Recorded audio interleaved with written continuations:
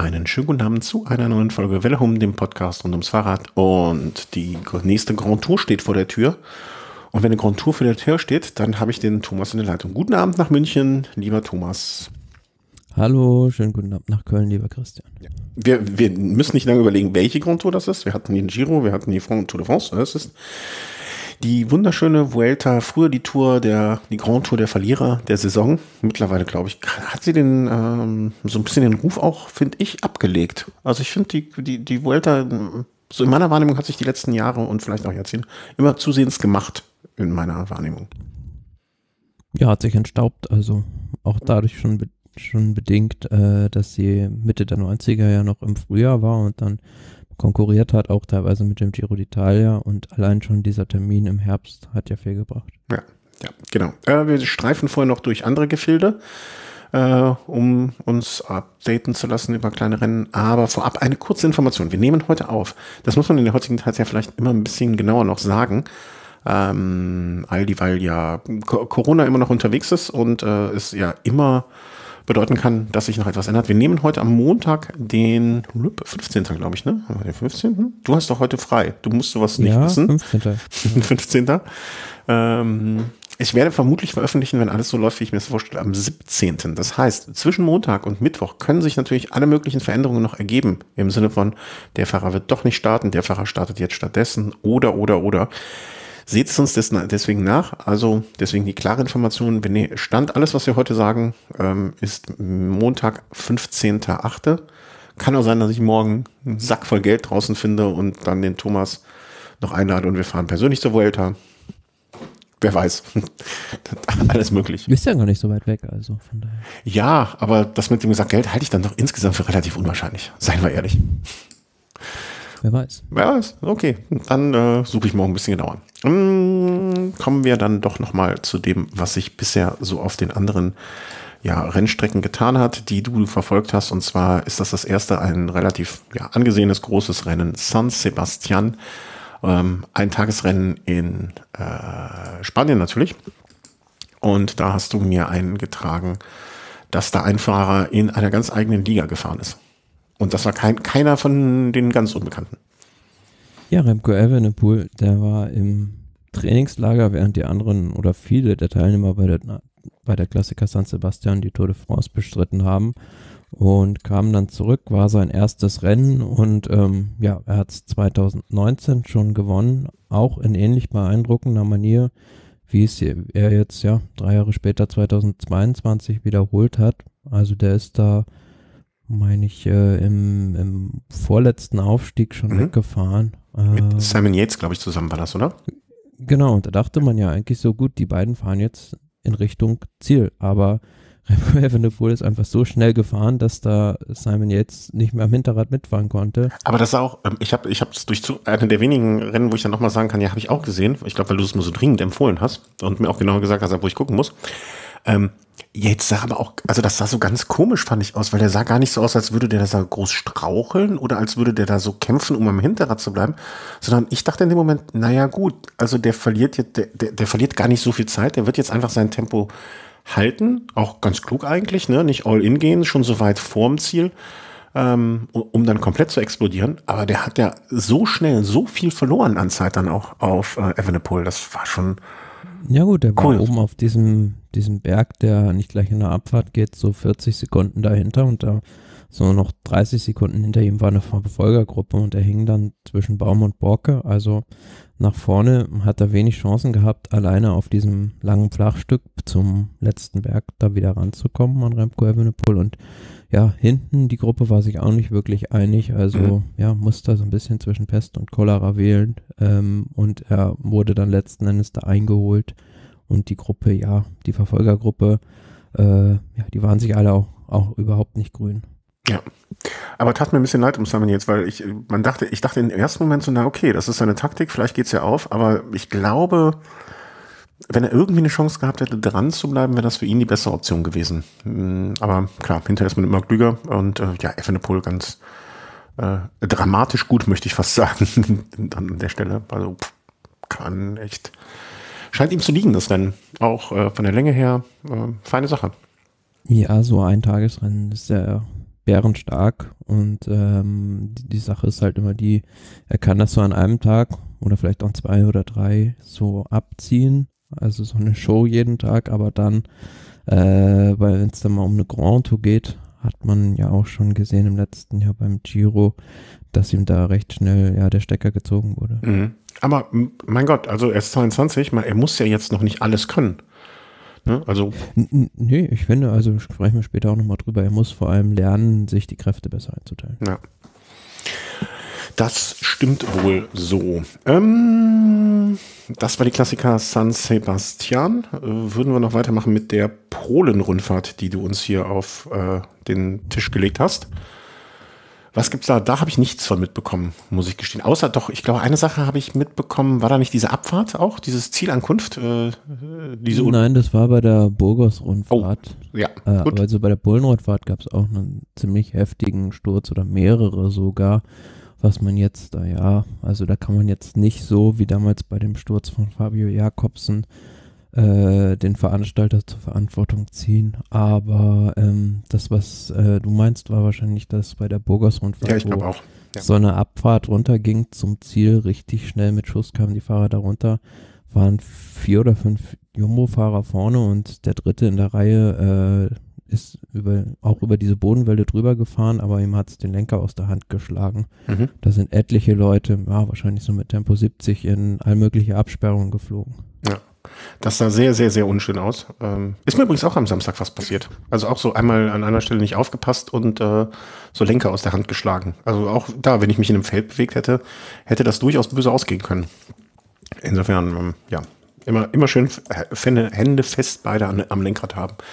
Hat noch niemandem geschadet. Die, die Puppy-Pause-Haltung, wie ich jetzt gelernt du. habe, ist verboten. Ich, äh, da, ganz ehrlich, ich hätte es vergessen, aber ich habe heute Morgen noch gedacht, da muss ich dich drauf ansprechen. Kanntest du den Begriff Puppy-Pause-Haltung? Äh, nein, war mir auch neu. Dann bin ich ja, also, dann bin ich ja zufrieden und beruhigt. Ähm, es geht darum, dass ähm, na, Fräulein Frau Voss. Marianne Voss, Marianne. Das, ja, die äh, deswegen bei einem Rennen dann disqualifiziert wurde. Ja. Ähm, und ich, ich, ich, ich habe auch die Überschrift gelesen. Also bitte, wir, wir äußern uns deswegen nicht über den Frauensport. Nicht, weil wir ähm, das nicht äh, irgendwie mm, voll größter Hochachtung ähm, irgendwie hier, ne? Also nicht, nicht da immer wieder unseren Hut vorziehen. Auch die Tour de France der Frauen ist ähm, wirklich einfach ein fantastischer Event gewesen von allem, was ich da gesehen habe. Und ich habe von allen Ecken und Enden nur gehört, wie toll es war. Aber das ist einfach nicht unser Fachgebiet. Also da kennen wir uns nicht aus. Und da möchte ich an Regines Radsalon verweisen, die mit der, äh, ich komme jetzt nicht auf den Namen, cyclista.net, ähm, Caroline, Puh, Gott sei Dank, ähm, äh, wirklich auch eine hervorragende Ansprechpartnerin hatte, kann ich äh, an der Stelle nur gerne hinverweisen, die einen kompletten Recap der Tour de Femme gemacht haben. Und äh, das ist ja auch bei uns, das, das eint uns ja. Also Regine in Berlin, ich in Köln, in den Großstädten und dann ähm, die Caroline und du beide in der bayerischen Provinz. Das passt ja dann auch im Vergleich dazu. In der Provinz, das stimmt so äh, Die Spitze konnte ich mir jetzt nicht verkneifen. Ähm, Polen. Nee, das, was du meintest, war bei dem Rennen Post Nord Vorgada West Sweden, wo ja. Marianne Foster disqualifiziert genau. Mit der Pupipor, ich äh, hatte es, war mir vorher auch nicht bekannt. Ich musste auch äh, nach der Überschrift erstmal googeln und habe es dann sofort gesehen. Also dieses Ablegen der Hände vorne. Und äh, ich glaube, der äh, Carsten Miegels hat es auch sofort in dem Moment, wo er es gesehen hat, schon erwähnt. Ähm, also zumindest gesagt, oh, oh, oh, oh, oh. Aber den Begriff Puppypaw kannte ich noch nicht. Wieder was gelernt. Allerdings, wenn ich bis jetzt damit durchgekommen bin, ohne diese Haltung, also ohne die Bezeichnung, dann werde ich auch, glaube ich, weiter durchhalten.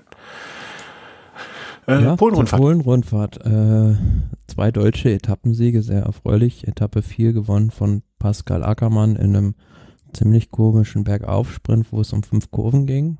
Ähm, und Etappe 5 danach dann gleich gewonnen von Phil Bauhaus, auch in einem reduzierten Massensprint, sage ich mal, der durch einen Sturz beeinflusst wurde. Mhm, okay, äh, gewonnen insgesamt Ethan Hater äh, von Ineos. Äh, genau, und bemerkenswert noch das Bergzeitfahren auf Etappe 6 war das. Das war ein äh, 11,8 Kilometer langes Bergzeitfahren. Mhm. ähm, wo Timen Ahrensbein gewonnen hat, aber Marco Brenner Brenner, auf Platz 5 gefahren ist. Das war schon sehr, sehr stark. Helf mir, Marco Brenner, helf mir nochmal auf die Sprünge. Das war, den, den, den, du mehrfach schon als das große Talent ausgerufen hast. Kann das sein? 19-jähriger Augsburger? Ja, also er ist jetzt auch bei der für die Vuelta nominiert, also für seine erste große Landesrundfahrt.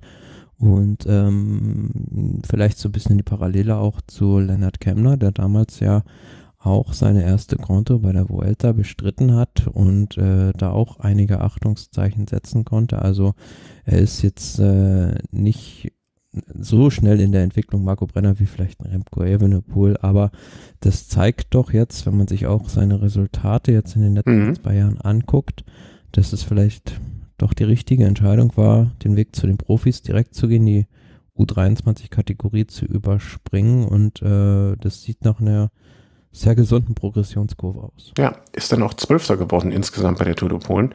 Wahrscheinlich auch aufgrund dieses guten Ergebnisses der fünfte Platz bei diesem Zeitfahren. Ähm, ja, und hoffen wir mal, dass er also im Team DSM dann in guten Händen ist, kann ich mir gut vorstellen. Und langsam aufgebaut wird. Schön. Also ich, ich verliere ehrlich gesagt so ein bisschen sogar den Überblick bei den neuen deutschen Talenten. Ich sag mal im Alter zwischen 17 und 23. Ähm, ich muss mir da mal irgendwie so eine Übersicht verschaffen nochmal äh, in Ruhe.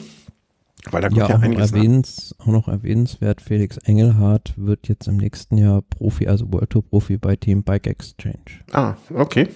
Noch, noch einen Namen, den ich mir auf die Liste schreibe. Und dann kommen wir schon zum nächsten Rennen, ähm, was du vor Ort gesehen hast. Also wo wir äh, quasi äh, Live-Berichterstattung vor Ort hatten. Und zwar, das war das bei der letzten äh, Sendung auch schon angekündigte ähm, europäische Meisterschaftsrennen. Ist das die richtige offizielle Bezeichnung? Wahrscheinlich nicht. Europameisterschaft. Europameisterschaft, ja. okay. Erstmal, wie war es? Also, ähm, ich wurde heute, ich wurde gestern korrigiert, als ich meiner Frau sagte, äh, übrigens, der Thomas ist heute beim Odeonsplatz. Da habe ich direkt erstmal einen Einlauf bekommen. Das heißt Odeonsplatz. das wurde auch im Fernsehen die ganze Zeit so gesagt, ja. Äh, wie wurde es gesagt? Auch falsch? ja, so wie du es gesagt hast, genau. Dann bin ich ja beruhigt. Also dann äh, möchte ich das nochmal zur Diskussion stellen, wie jetzt die richtige Bezeichnung ist. Also wenn das ja, das möchte ich mal dahin hingestellt Aha. lassen sein. Du möchtest dich also aus der Affäre ziehen. Ähm, gut, gut. Hm, sei dir gegönnt. Also das heißt Odeonsplatz dann. Ja. Okay. Wie war es? Also äh, beschreib mal so ein bisschen das Ambiente erstmal. Also jetzt abgesehen vom Ergebnis. Hm, ja, also es war halt so ein Stadtkurs zum Schluss, also generell das Drumherum, wer hier aktuell so in München ist und mal ein bisschen durch die Stadt fährt, der merkt schon, dass da doch jetzt mittlerweile eine recht große Begeisterung ist, da ist für diese European Championships. Also äh, das wird sehr gut angenommen, vor allem die Gegend rund um den Olympiapark. Also das ist äh, Begeisterung pur momentan, möchte ich sagen. Und auch die Radsportwettbewerbe, die Bahnwettbewerbe werden sehr gut angenommen, weil auch die Deutschen da sehr erfolgreich sind. Die sind an der Messe draußen Richtung Osten. Und ja, jetzt das äh, Straßenrennen der Männer war jetzt der erste Straßenwettkampf ähm, bei diesen European Championships hier. Also es kommt dann am Mittwoch Zeitfahren von Frauen und Herren und dann am Sonntag meine ich noch das Straßenrennen der Damen. Und ja, also wie war es da? Wenn ich, wenn ich kurz, äh, eine, finde ich aber krass, dass die das so weit auseinanderdehnen, weil ich dacht, dachte mir eigentlich, okay, wenn du die Infrastruktur für ein Rennen hast, das dann alles so schnell hintereinander ab, ab, abwickeln, wäre vielleicht einfacher. Naja, es ist ja so, dass äh, zum Beispiel das Zeitfahren, die, die, finden auf einem Kurs statt, aber das alles in Fürstenfeldbruck. Also mm, okay. gar, hat gar nichts mit München im Prinzip zu tun, sondern ist außerhalb.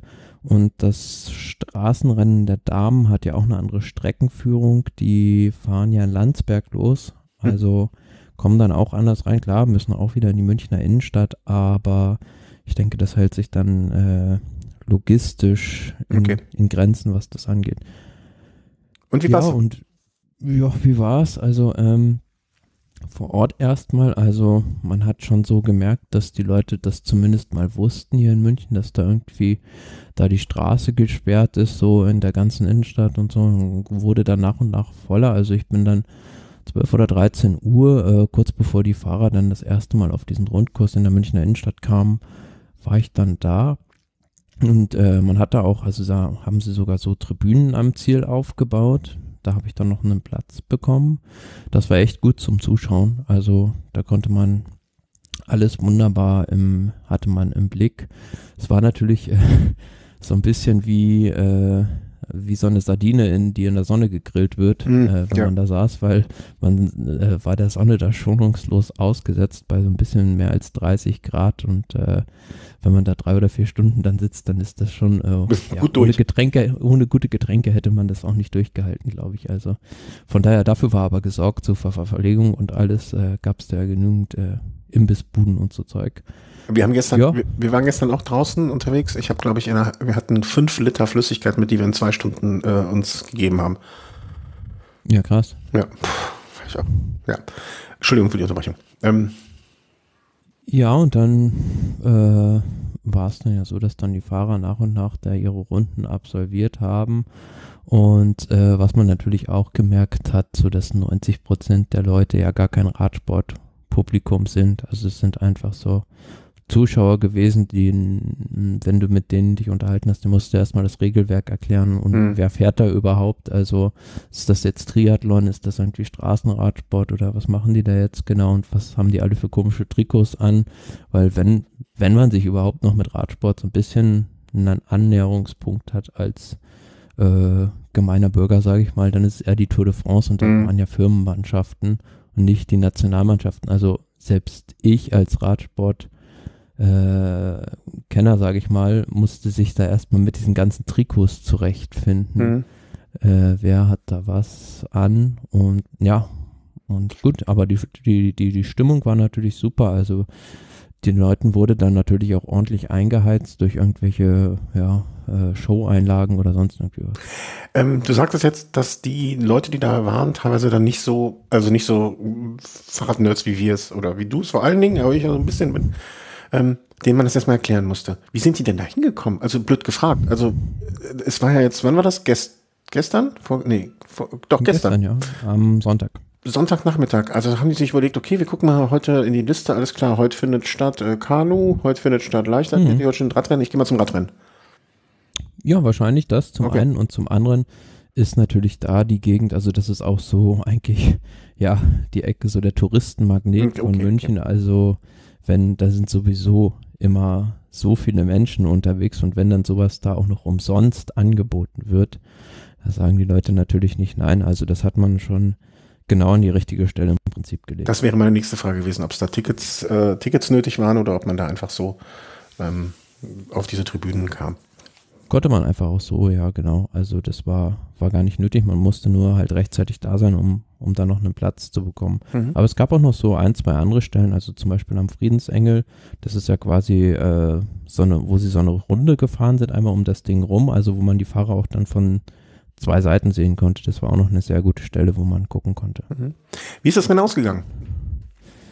Das ja, ja auch am dazu. Ende, am Ende dann doch recht deutlich. Fabio Jakobsen wird Europameister für die Niederlande vor Arnaud Demar und Demelier.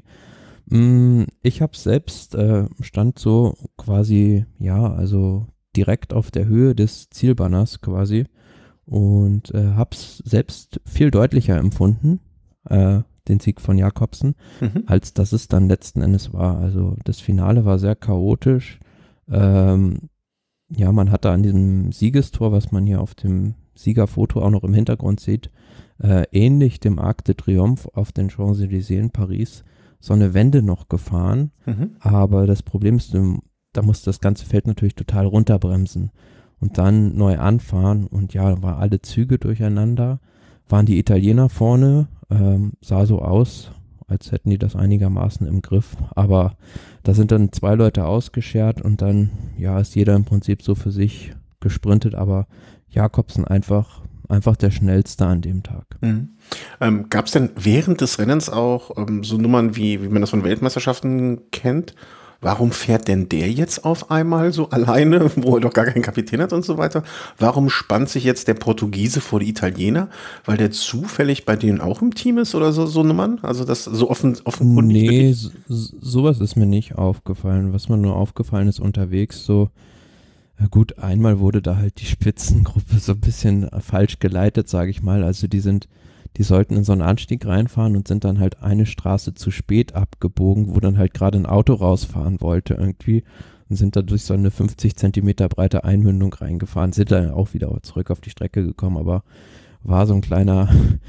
Die Deutschen müssen sich erstmal erstmal wieder an den Radsport gewöhnen. Weißt du, so ein dass die Rad, Radrennen stattfinden, das ist ja nicht äh, das ist von ungewöhnlich. Ne? Das ist ja was Neues hier in diesem Land. Ähm, aber ich glaube, keine schlechte Werbung. Also alle Bilder, die ich gesehen habe, waren gut. Ähm, der der Straßen, äh, der, der Bahnsport ja eh immer schon äh, Deutschland gut angenommen und auch erfolgreich. Also ähm, bin gespannt jetzt auch die Deutschland-Tour, die ja vor der Tür steht, ne, wie das angenommen wird. Ich, ich glaube, vielleicht sind wir Deutschen langsam doch wieder ein bisschen offener dafür. Und auch hier so ne, die ganzen Dokus über Ulle, die jetzt laufen und zu hören waren und gesehen wurden und so weiter Vielleicht, vielleicht ist so der Wendepunkt erreicht, dass man zumindest wieder normal mit unserem Sport, sage ich mal, umgeht. Mm, da gebe ich dir recht. Also das Interesse am Radsport ist da und nimmt auch zu, bedingt äh, durch deutsche Erfolge, die auch immer noch da sind und ähm, dadurch natürlich auch, dass viele Leute selber Rad fahren. Aber was jetzt dieses Straßenrennen der Männer angeht in München, da gehen ja die Meinungen total auseinander. Also welche sagen totale Grütze, also was soll die Strecke? Und äh, andere sagen, ja, alles richtig gemacht. Also ähm, aus Sicht des Veranstalters mit Sicherheit, wenn man so Tourismuswerbung für München und die Region machen will, dann hätte man das, äh, die, die Strecke eigentlich gar nicht besser führen können, weil die sind da an allen möglichen Seen vorbeigefahren, an, ja, so haben alle Sehenswürdigkeiten da in der Münchner Innenstadt mitgenommen. Mhm. Aber ähm, der Kontrapart sagt natürlich auch, ähm, also als ich mir das dann angeguckt habe, auch diesen Stadtkurs, das ist ja ja schon so sehr grenzwertig gewesen, weil es war alles abgesperrt mit Gittern und ähm, überall, wer die Münchner Innenstadt kennt, äh, weiß, dass es ein Albtraum für Fahrradfahrer einfach ist. Also überall Baustellen, du kannst keine 50 Meter irgendwie fahren, ohne dass irgendwie so eine Balustrade an der am Straßenrand steht. Und ja, es gab dann ja auch einen Unfall, wo dann Pascal Ackermann gestürzt ist und eben genau an so einem Absperrgitter hängen geblieben ist. Und da muss man auch wirklich so sagen, äh, wo ich mich dann gefragt habe, dass die Leute das nicht lernen oder warum nimmt die UCI sowas ab, dass immer noch diese Absperrgitter mhm. mit den Füßen nach innen da stehen können. Klar, die müssen da irgendwie oder haben da die ganze, den ganzen Rundkurs abgesperrt, aber es gibt ja diese Balustraden, die ohne Füße nach innen auskommen. Mhm. Aber das eine heißt ja nicht, dass das, also bloß weil das eine richtig ist, heißt ja nicht, dass das andere nicht auch richtig sein kann. Ne? Also das, ich finde so ein, wie du es beschrieben hast, jetzt so ein Kurs, dass das eine Werbung für die Stadt, die Region und so weiter ist, das macht ja jede Weltmeisterschaft, jede Europameisterschaft. Ähm, jede Grand Tour ja in gewisser Hinsicht, ne? Ist, das sind ja alles Werbeträger für die Gegend, immer. Ne? Und bloß weil das wichtig ist, und das scheint ja, alles, was ich auch mitbekommen habe, scheint das ja wirklich fantastisch gelaufen zu sein dann. Was aber nicht heißt, dass die zweite Aussage nicht auch richtig sein kann. Ne? Nichtsdestotrotz muss man dann aber auch äh, machen, auch hier wieder die, Marginal Gains vielleicht den Unterschied zwischen einer perfekten Veranstaltung und einer guten Veranstaltung.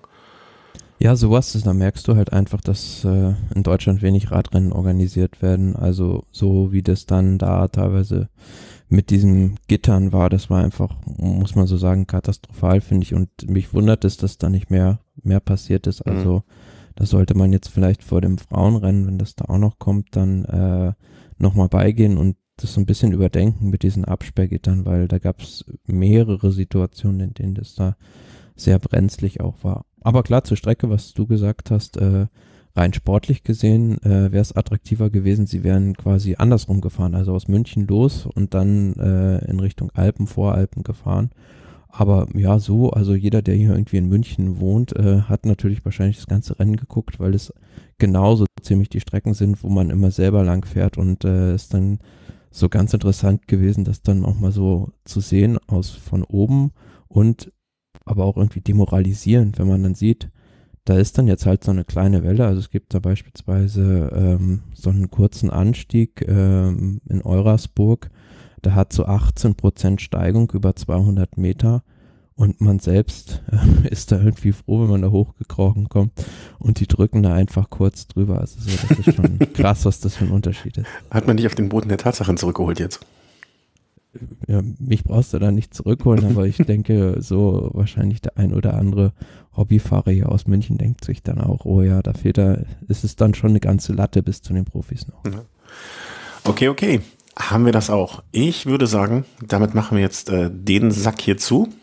Ähm, und nach einer kurzen Pause, die wir jetzt hier eingelegt haben, kommen wir wieder zurück und äh, kommen dann zu dem wohl heute wichtigsten Tagesordnungspunkt und auch dem Tagesordnungspunkt, der uns die kommenden über drei Wochen oder gut vier Wochen, wahrscheinlich vier Wochen eher schon fast, ne? Also wenn man jetzt so die Woche. Ja. Bedingt dadurch, dass es auch wieder an einem Freitag startet, ja, kann man schon so sagen.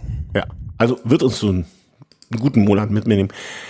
Die Vuelta 22, äh, 2022, die ja, Spanien-Rundfahrt. Und ja, wie, wir, wir werden es wie immer machen. Wir machen vorher so ein kleines bisschen einmal über die Strecke drüber gucken, einmal über die äh, Favoriten drüber gucken und was es sonst noch alles so unserer Meinung nach äh, berichtenswertes gibt vor im Vorfeld. Hm, wie gesagt, wir nehmen heute am Montag auf. Das heißt, bis zum Start der Vuelta kann durchaus sich noch das ein oder andere ereignen. Ähm, und äh, ja, das haben wir dann halt nicht, ne? Also muss man einfach so ehrlich sagen. Das werden wir dann wahrscheinlich in der ersten Sendung oder der ersten Folge nach den ersten paar Tagen dann aufgreifen. Wie sehr auf einer Skala von 1 bis 10 freust du dich auf die Vuelta? Oder wie sehr ist dein, äh, wie soll ich sagen, Grand Tour Fieber schon ähm, zum Erlischen gekommen? Sehr, ja. Also muss ich sagen, zumindest so wie auf die Tour de France. Ähm, zumal ich jetzt auch gerade äh, oder jetzt zuletzt dieses Buch mal gelesen habe, Vuelta Skelter, also wo es darum geht, äh, so ein bisschen von Tom Moore, ähm, wo er die Strecke, mhm. die alte Strecke der Vuelta abfährt und äh, gar nicht mal so sehr es um das Rennen geht äh, oder um seine Geschichte da, sondern vielmehr um so spanische Geschichte, also so, dass man sich ein bisschen mit dem Land auseinandersetzt und mit der Bürgerkriegszeit und so weiter und so mhm. fort. Von daher, äh, vor dem Hintergrund bin ich dann schon so ein bisschen im Spanienfieber jetzt. Dann werde ich dir auf jeden Fall, äh, es wundert mich eigentlich gar nicht, ich wusste noch nicht, dass du das Buch, äh, hast du das von mir? Nee, ne? Das war ich. Nee, ne? nee? okay. Äh, habe ich anderweitig. ja, nee, nicht jedes Buch, was du hast, hast du von mir. Aber ich hatte das, glaube ich, auch mal. Und ich weiß nicht mehr, ob ich sie, noch habe oder die, deswegen war ich gerade nur so unsicher. Ähm, dann werde ich dir auf jeden Fall, bevor wir irgendwann mal, was ich eines, eines meiner schönsten, also größten Wünsche ist, mit dir zusammen mal den Mont Ventoux hochzufahren, äh, werde ich dir auch auf jeden Fall das Mont Ventoux-Buch geben, weil dann bist du danach, äh, also da weißt du quasi erstmal über jeden kleinen Stein etwas. Und zwar dann bist du auch jemand, der sowas vorher sich so, so, so Vorfreude selber anarbeiten kann, ähm, würde ich mal sagen. Ja, ich bin auch, also ich bin ja sehr, ich will nicht sagen sehr Spanien-affin, aber ich mag ähm, durch mehrere Aufenthalte da äh, auch ähm, Spanien schon recht gerne. Und äh, freue mich auch da jetzt so lang, also ich bin noch nicht im Fieber drin, aber ich glaube, ich komme da relativ schnell rein, wenn es da mal losgegangen ist. Ähm, und das ist ja jetzt am Freitag so offizielle Route der Vuelta. Es wird wie immer sehr bergig, ähm, zumindest das, was ich bisher so im Überblick gesehen habe. Wir starten in Utrecht, also auch diesmal geht es ähm, in den Niederlanden äh, los. Genau. Ja, genau. Also wie schon der Tour de France Start 2015 und beim Giro 2010, meine ich, ist da auch schon eine Etappe angekommen. Ist vielleicht auch für deutsche Radsportfans eine Gelegenheit, mal die Vuelta zu sehen. Mhm. Also ich kann mich dran erinnern, vor ein paar Jahren war das mal, da sind die mal ganz kurz, manchmal waren sie auch in den Niederlanden, mit der Vuelta über die deutsche Grenze sogar gefahren. Hm, ja, das erinnere ich nicht mehr. Aber das heißt nicht, dass es nicht war. Was ich finde, wenn ich mir so die ganze, so den Streckenplan angucke, ähm, eigentlich schon ein kleiner Kritikpunkt und oder wo, wo ich mir auch vorstellen kann, dass die Profis da nicht sehr angetan sind. Ich habe so gefühlt, gibt es sehr, sehr viele Transfers. Also, wenn ich mir so angucke im Vergleich zum, zum, zum Giro und Tour, die meiner Meinung nach in den letzten Jahren versucht haben, möglichst wenig Transfers zu fahren. Start-Zielort immer sehr nah beieinander oder sogar der gleiche Ort. Ist es diesmal so, dass ich echt so ganz häufig. Mhm, also so du hast ja im Prinzip drei große Transfers. Einmal den Transfer aus den Niederlanden nach Nordspanien ins mhm. Baskenland und dann fahren sie da in Nordspanien und dann gibt es dann am zweiten Ruhetag den Transfer nach Südostspanien mhm. und von da geht es dann aber schon so eigentlich geregelt weiter, finde ich. Ja, äh, ich, euer Ehren, ich möchte Einspruch erheben.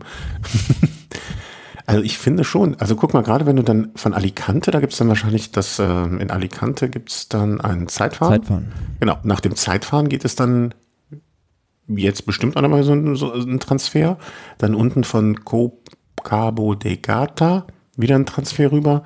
Dann gibt es später nochmal ähm, den Transfer von äh, San, weiß ich jetzt nicht, wo Start und Ziel ist. Also von, Sierra, von der Sierra Nevada gibt es dann den Transfer nach, ähm, hier, äh, wie heißt der Ort? Da ganz in der Nähe, San Luca de Barrio. Also ich finde schon, dass es relativ, und dann später nochmal, ne, hier zum Schluss da.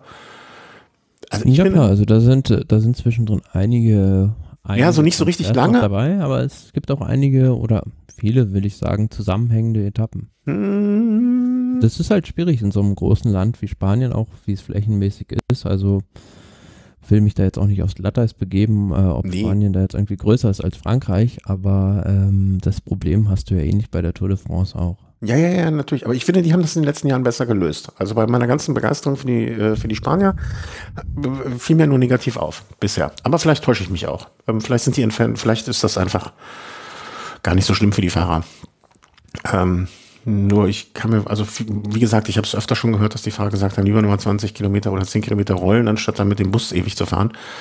Ähm, da musste ich dran denken, als ich das gesehen habe. Uh, welches, also ich, ich würde sagen, wir gehen einfach mal durch. Ne? Also die ersten drei Etappen, Utrecht-Utrecht, äh, Einzelzeitfahren über 22 Kilometer. Mannschaftszeitfahren, ne? Äh, Mannschaftszeitfahren, Entschuldigung, Teamzeitfahren. Gab es auch, äh, meine ich, zuletzt, also das letzte Mal, dass es eine Mannschaftszeitfahren bei einer Grand Tour gab, war bei der Vuelta, also Da unten am Strand lang, als, als Christian Knies noch über die Holzbalken ja. gefahren ist. Ja. Also so Mannschaftszeitfahren ist äh, ziemlich außer Mode gekommen in den letzten Jahren, muss man sagen. So bei den Grand Tours äh, ist jetzt mal wieder eins dabei und äh, ich finde es ganz gut. Ja, äh, möchte ich an dieser Stelle noch ganz herzlich gratulieren dem Mannschaftszeitfahrsieger des äh, Rennens gestern rund um die Kö. Gestern gab es einen äh, Radrenntag in, in, Düsseldorf rund um die Kühe und es hat mhm. das Bike Components Vierer-Team gewonnen. habe ich heute Morgen allen gratuliert. Ja, äh, schlecht. Mh, ja, war ganz flott unterwegs. Obwohl es in Düsseldorf war. Obwohl es in Düsseldorf war, ja. Puh, vielleicht, also aus der Stadt alles rausholen, was irgendwie rauszuholen ist. Mhm. Am Samstag geht es dann, ich, ich würde mal sagen, einfach, die kann man schon äh, fast zusammen sehen. Äh, Samstag und Sonntag zwei Flachetappen von 175 und 193 Kilometer. Das Einzige, was ich mir da vorstellen kann, irgendwie, mm, also am Samstag so ein, zwei kleine Hügelchen, aber das ist wahrscheinlich eher so ein Deich hoch. Äh, Gibt es da irgendwo, das wirst du dann schon wissen, Windkantensituation? Sieht auch nicht so aus für mich ist natürlich immer eine, eine Möglichkeit in den Niederlanden. Also, dass da irgendwie, wenn der Wind ein bisschen stärker ist, so was passieren kann. Aber ansonsten, nee, hast du schon richtig gesagt, sind das eigentlich zwei Sprinter-Etappen. Also, ja, gibt jetzt auch nicht so super viele Chancen für die Sprinter bei dieser Vuelta, aber am Anfang dürfen sie sich dann zweimal austoben. Ähm, was ich gerade sehe, ähm, Ruvi sagt dir wahrscheinlich nichts, mir auch nur äh, im Passiven was, ist so etwas ähnliches wie Swift oder so eine virtuelle Plattform. Da kann man wohl alle Strecken auch fahren dieses Jahr. Weiß nicht, ob die irgendwie Mediapartner sind oder sonstiger Partner. Da kann man die Strecken abfahren. Vielleicht, kann, vielleicht suche ich mir heute noch eine Etappe mal raus, die ich dann da fahre. So irgendwie so Testabo oder irgendwie so sieben Tage Test und dann fahre ich mal eine Strecke. Oder ich lasse dich eine aussuchen, das ist noch viel lustiger wahrscheinlich. ich nehme wahrscheinlich das Mannschaftszeitfahren alleine. Äh, ja, dann ist schon der Rest Day, also der Ruhetag, der dann damit verbracht wird, äh, in den Norden Spaniens zu fahren in das äh, sogenannte auch Baskenland. Ähm, und dort geht es dann ja mit den Pyrenäen eigentlich schon weiter. Ja, Baskenland, also so wie man es von der Baskenland-Rundfahrt kennt, ist auch in gewisser Weise so eine Generalprobe, sage ich mal, weil im nächsten Jahr der Grand Depart, also Tour de France Start auch im Baskenland sein wird. Mhm. Ähm, da kann man sich jetzt schon mal kann man schon mal gucken, worauf man sich da im nächsten Jahr einstellen muss. Und äh, stimmungstechnisch wird es mit Sicherheit äh, wieder super werden, weil baskische Radsportfans wissen wir alle, wie begeistert die sind. Und ja, Etappe 4 dann, Vitoria Gasteiz La Guardia, hm, ja, ist so ein Uphill-Finish, beziehungsweise so eher für Pancheure. Also ist jetzt noch nicht so gemacht, dass es da große Abstände im Klassement geben sollte. Ja, glaube ich auch bin ich bei Etappe 5 dann Irun nach Bilbao. Auch ähnlich so eine Etappe, also ähm, da geht es dann kurz vorm Schluss nochmal so einen Zweitkategorie-Berg hoch mit einer Abfahrt mit Schuss ins Ziel. Auch wieder vielleicht sowas für einen Puncheur oder eine größere Gruppe, einen Sprint, also ja. Warst du mal in Bilbao? Äh, nein, leider noch nicht. Nee, ist auch so ein, möchte ich unbedingt mal hin, weiß gar auch nicht so richtig warum, aber irgendwie reizt mich. Keine Ahnung. Ja, egal. Ich dachte, du könntest mir sagen, ist schön da. Etappe Nummer 6 ist dann schon etwas, wo ich sagen würde, okay, da kann eher mal ähm, das kleine Ritzel montiert werden und äh, das Messer zwischen die Zähne genommen werden. Wenn, wenn zu dem Zeitpunkt es schon so ist, dass es ja ähm, jemand Abstände produzieren will. Auf jeden Fall, das ist so der erste äh, Gradmesser für die Favoriten.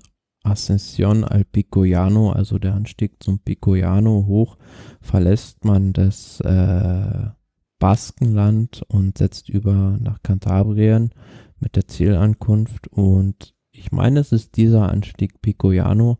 Auf jeden Fall bei einem Anstieg wurde extra jetzt für die Vuelta bei einem Schlussanstieg die letzten drei, vier Kilometer auch asphaltiert. Also es war vorher eine Schotterstraße, hat man da frisch gemacht. Ja, also der Anstieg zum Schluss 13 Kilometer rund mit 6, 7 Prozent im Schnitt wird schon dafür sorgen, dass man so zumindest sieht, wer die Vuelta nicht gewinnen kann. Mhm. Das ist Etappe Nummer 6 und am nächsten Tag Etappe Nummer 7 ist eine der ungewöhnlichsten, wie soll ich sagen, ungewöhnlichsten äh, Profile, die ich seit längerem gesehen habe. Weil man muss es sich so vorstellen, bis Kilometer 70 sieht es aus wie ein ganz normales Radrennen. Dann sieht es für die nächsten, ja, so gut 55 Kilometer aus wie eine umgekehrte Sprungschanze vom Skispringen. Also vielleicht dreht da oben dann auch äh, Roglic, nee, der fährt ja nicht, äh, sein Rad rum. Äh, und der fährt doch. Ja, ja, doch. Okay, dann wieder eine neue Information, die ich noch nicht. Ja, also Roglic, Achtung, nicht oben umdrehen und runterspringen. Und dann geht's wieder einfach so ganz gemäßigt langsam ins Ziel. Komisch. Ich finde die Etappe gut ja. weil die genau so richtig ist für Ausreißer. Also ja. so, man sieht es ja beim, hab's beim Giro auch schon gesehen, dass so die Ausreißer extrem besser gestellt sind jetzt in den letzten ein, zwei Jahren. Also sie kriegen viel mehr Chancen, bedingt auch durch solche Streckenführungen. Und für mich persönlich, okay, ist jetzt Geschmackssache. Also ich mu muss nicht irgendwie jeden Tag eine Massensprint sehen oder die Favoriten immer vorne, sondern finde dann auch mal so so eine Ausreißergruppe, wenn die um den Sieg kämpfen, dann ganz spannend. Ja, und vor allem auch, wenn es darum geht, ob die Ausreißer durchkommen oder ähm, ja, dann doch noch eingeholt werden. Ich finde, vielleicht ist die Etappe, also unter der Prämisse ist natürlich interessant, aber dafür dann vielleicht ein bisschen früh, weißt du? So ähm, könnte meiner Meinung nach ein bisschen später kommen, dass man vielleicht dann hinten auch nochmal dieses Rennen im Rennen hinten auch noch mhm. spannender mm. werden würde. Aber ist jetzt so, nehmen wir auch so hin. Ähm, auf jeden Fall ein interessantes Profil. Und ja, du hast vollkommen recht, jeder Ausreißer wird sich die Etappe oder jeder der Typ aus, Fahrertyp Ausreißer ähm, hat sich die Etappe anmarkiert. Ähm, vor allen Dingen, weil wenn man es am Lebenstag nicht geschafft hat, kann man ja die Form irgendwie versuchen noch zu stabilisieren. Denn der nächste Tag, weiß nicht, so gefühlt würde ich auch sagen, ne, durch die vielen Berge, also man fängt direkt mit dem ersten Anstieg an. Also es gibt ja eins, zwei, drei, vier, fünf, mehr oder minder sechs große, weniger große, aber doch dann fordernde Hügel. Äh, das könnte auch eine interessante Etappe werden. Das wäre eigentlich so eine Etappe, die bräuchte man drei, vier, fünf Tage vor Schluss, um damit jemand nochmal attackieren kann von Anfang an. Ja, auch bedingt dadurch, dass am nächsten Tag noch eine schwere Etappe ist, hm, bin ich so ein bisschen skeptisch, dass da so viel passieren wird jetzt. Also, wie du schon richtig sagst, das sind eher so Anstiege, hm, also nicht so richtig Fisch, nicht Fleisch, also eher so, würdest du so in den Ardennen vermuten, mhm. diese zweite und dritte Kategorie Berge, also zweimal zweite Kategorie, zweimal dritte Kategorie und dann zum Schluss ein längerer Aufstieg, erste Kategorie 10,3 Kilometer, 7,8 Prozent. Ausscheidungsfahren, würde ich sagen. Also, mhm.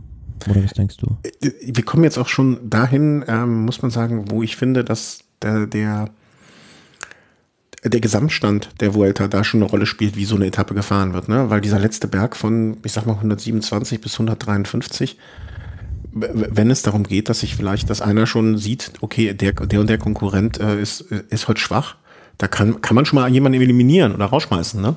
Ähm, um beim Mensch ärgerlich nicht zu sein. Also mm, ich persönlich glaube ja, und äh, da hat uns der Chris, ihm sei Dank, vorhin im Chat noch eine gute was? Guten, Was? Hinweis, guten Hinweis gegeben, ähm, dass bei dieser Vuelta auch so doch noch so ein, ja, ich will sagen, zweites Rennen im Rennen tobt. Also man weiß ja, im Radsport geht es dieses Jahr heiß her um die Lizenzen und ähm, da kämpfen verschiedene Teams unten gegen den Abstieg und die brauchen da echt jeden Punkt. Also so Mannschaften wie Israel beispielsweise, wie Movistar auch, vor allem als Heimteam, ja, die, die werden da auf jeden Etappensieg brennen und dementsprechend äh, verspreche ich mir da auch, dass die Etappen da hart umkämpft ausgefahren werden. Ist das denn dann grundsätzlich so ein dass, dass wir uns das mal so als Knoten ins Taschentuch machen, um das die nächsten vier Wochen im Hinterkopf zu behalten.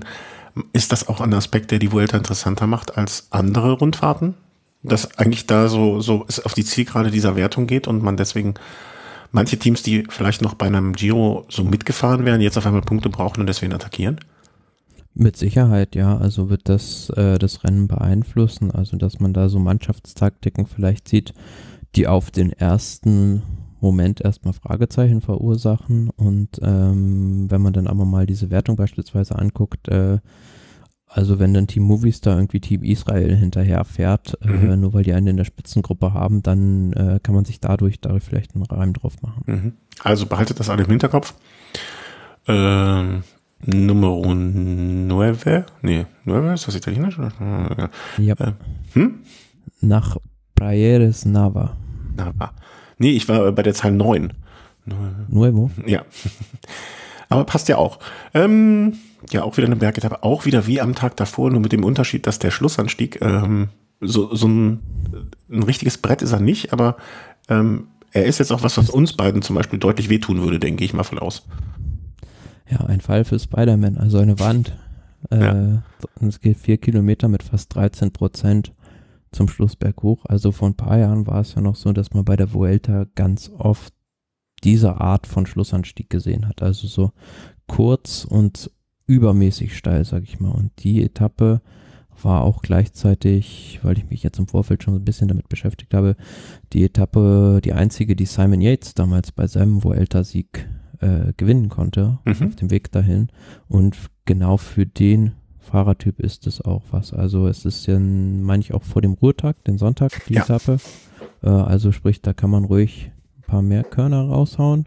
Und ja, explosives Finale für halt so explosive Fahrer. Und das heißt, da hast du auch schon deinen Wetteuro auf Simon jetzt gewettet. Und zwar schon im April, wie ich kenne. Du musst, nichts dazu sagen. du musst nichts dazu sagen. Ich kenne keinen Wettanbieter, der jetzt schon Wetten für die neunte Etappe der Vuelta anbietet. Bitte?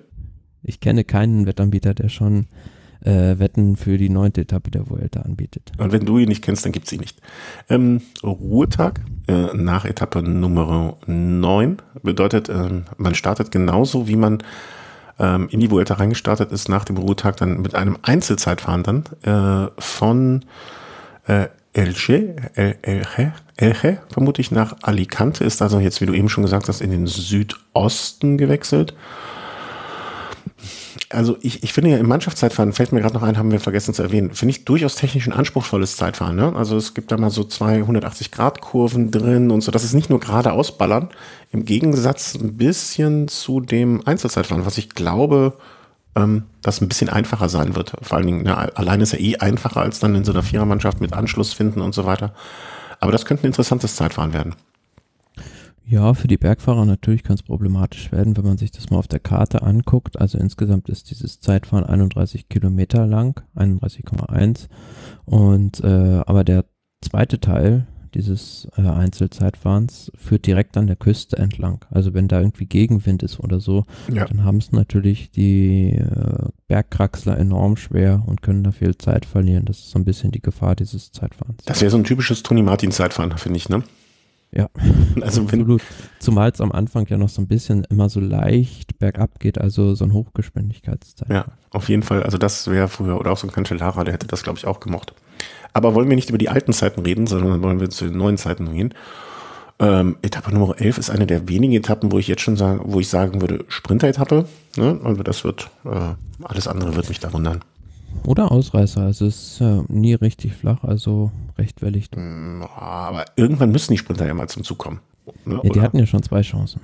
Ja, schon zwei Chancen. Wir sind bei Etappe Nummer 11. Ich bitte dich. Also, das Einzige, was noch sein könnte, deine Ausreißer ähm, könnten natürlich da wieder jetzt ins Spiel oder könnten wir wieder ins Spiel bringen. Ne? Ist, auch diesmal geht es so, ich behaupte mal, nach ungefähr der Hälfte der Strecke und dann wiederum für einen äh, signifikanten Teil am Meer entlang, da Gegenwind und so weiter. Das könnte natürlich ähm, dann den Sprintern, sowohl den Sprintern als auch den Ausreißern äh, in, in, die Karten spielen, je nachdem von wo der Wind kommt. Ne? Also das ja, klingt, wird ein interessanter Tag, glaube ich. Also kann extrem langweilig werden, kann auch extrem spannend werden. Etappe Nummer 11, wollen wir das mal so merken.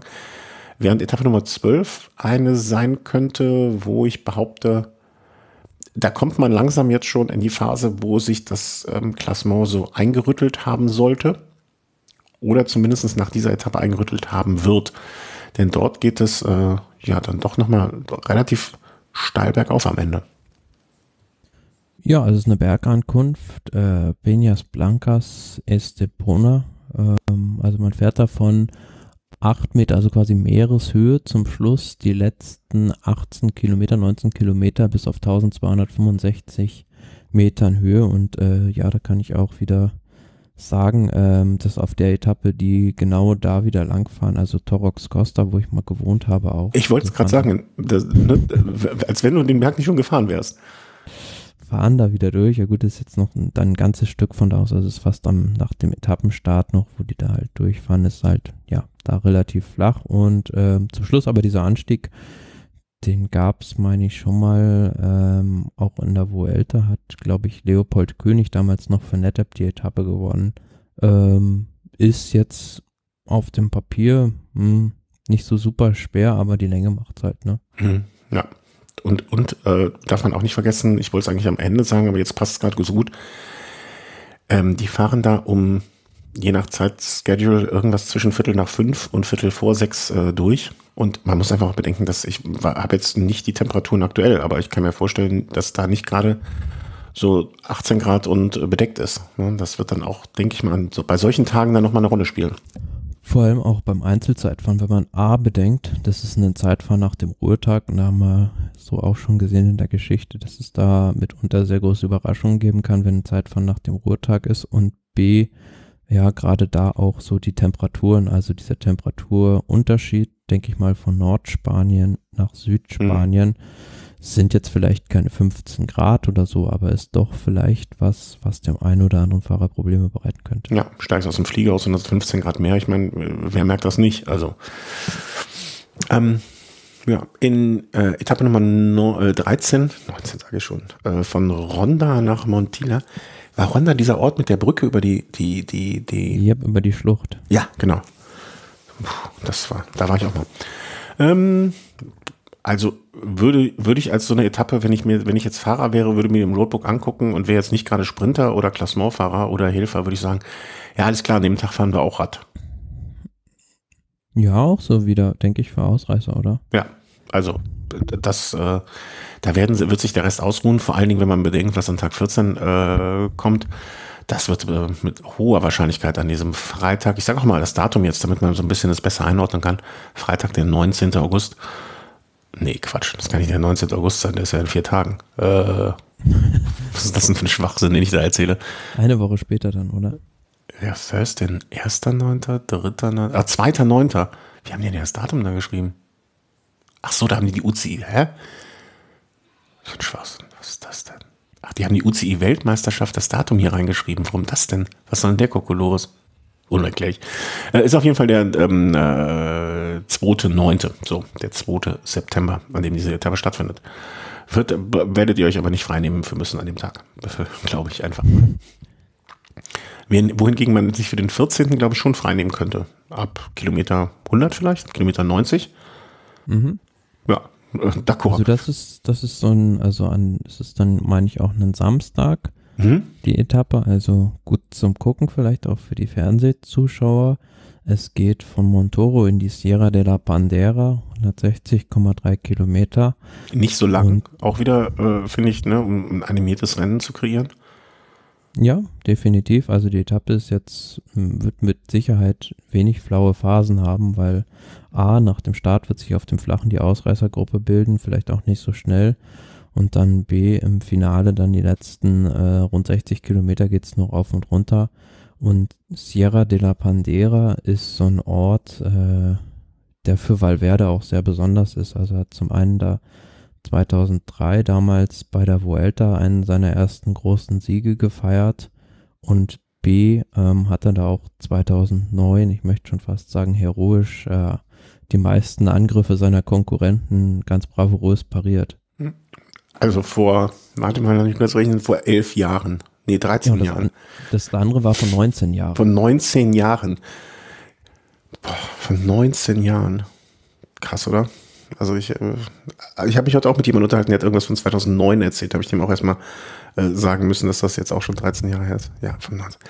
Ja, also eine beispiellose Karriere, die da ihr Ende nehmen wird, äh, wahrscheinlich am Ende der Vuelta, wenn ich doch noch irgendwas, also wenn er nicht doch noch Lust bekommen hat oder irgendwo äh, Tantiemen-Checks bezahlen muss. Ähm,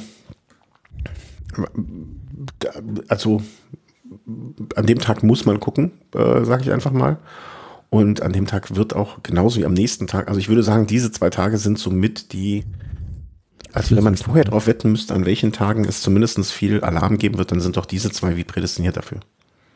Ja, und der Sonntag, der dann kommt, also das dann vor dem letzten Ruhetag die Etappe Matos Sierra Nevada, 148 Kilometer zwar nur, aber ist für mich äh, so die Königsetappe der Vuelta. Absolut. Äh, weil es da zum Schluss äh, auf über 2500 Meter Höhe hinausgeht und dieser letzte Anstieg ist einfach, der will nie enden. Also 20 Kilometer mit 8% Durchschnittssteigung.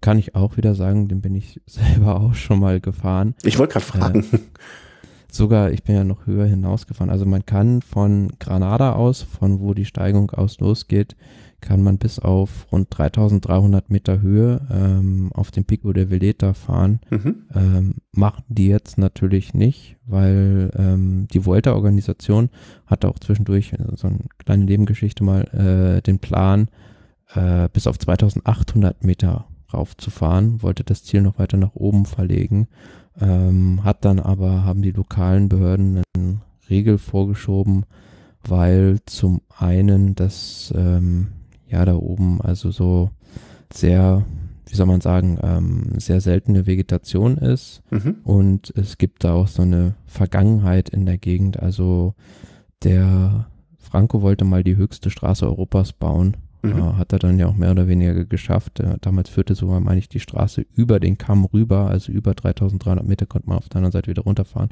Problem war aber, dass dann die Autos dann da reihenweise in der Höhenluft äh, liegen geblieben sind und das natürlich eine ziemliche Naturkatastrophe war. Mhm. Da kann ich mir vorstellen, dass da die Behörden gesagt haben, äh, lieber nicht, ihr bleibt da in Hoya de la Mora an dieser, dieser Bettenburg ist dann das Ziel. Ich denke, den Fahrern reicht das auch. Ja, und äh, man, man hat ja gesehen, also 2017 gab es da schon mal eine Ankunft, da ist man ein bisschen anders gefahren, ähm, um da hinzukommen. Also man ist da quasi über diese Autobahn diesen Anstieg hochgefahren. Mhm. Ähm, diesmal fährt man eine bisschen andere Route und ähm, 2017 war das, da hat äh, Miguel Angel Lopez, also hat ein Kolumbianer gewonnen, der in der Höhe da sehr gut zurechtkommt.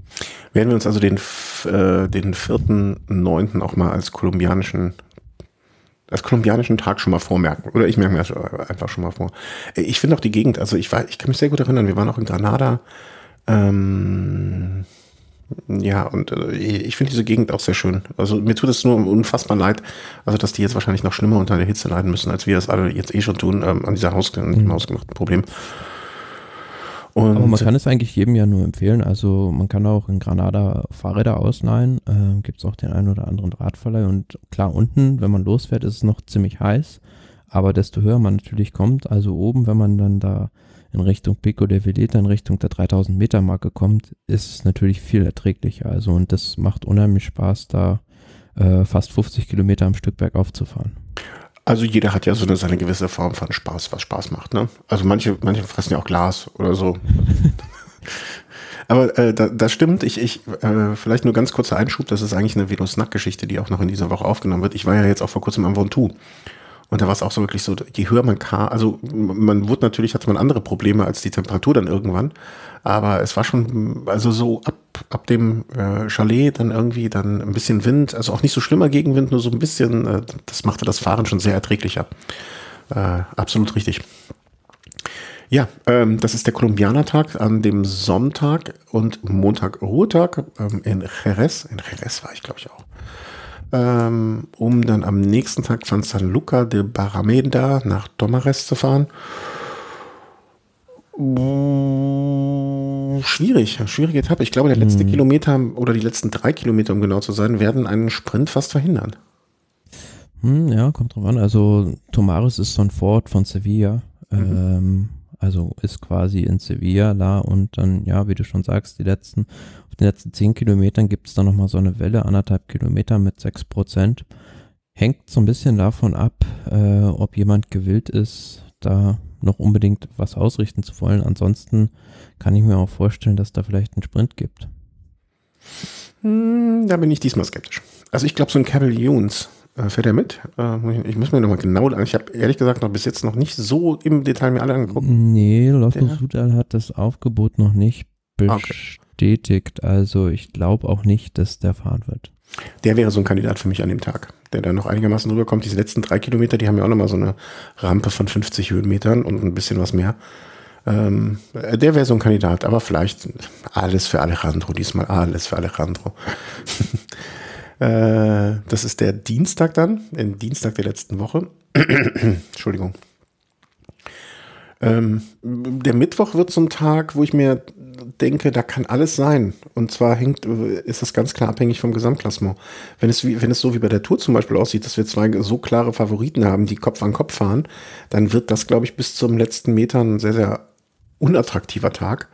Wenn du aber drei, vier, fünf Fahrer innerhalb der ersten fünf äh, hast, die noch nah beieinander liegen ähm, und gegebenenfalls ja auch viel Hakt auf einen machen, könnte das wiederum ein sehr spannender Tag werden. Also das ist so ein Tag, wo ich sage, kommt vom, hängt vom Klassement ab.